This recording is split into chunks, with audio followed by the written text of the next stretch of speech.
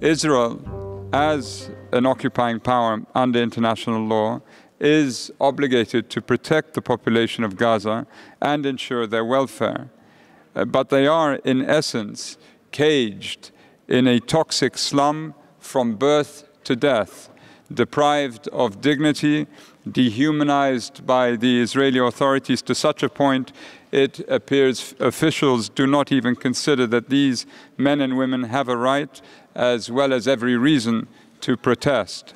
Therefore, endorse calls made uh, by many states and observers for an investigation that is international, independent, and impartial, in the hope the truth regarding these matters will lead uh, to justice.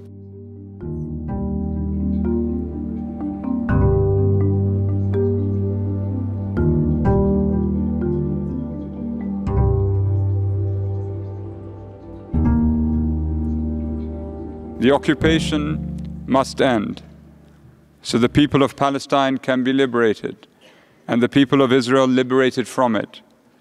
End the occupation and the violence and insecurity will largely disappear.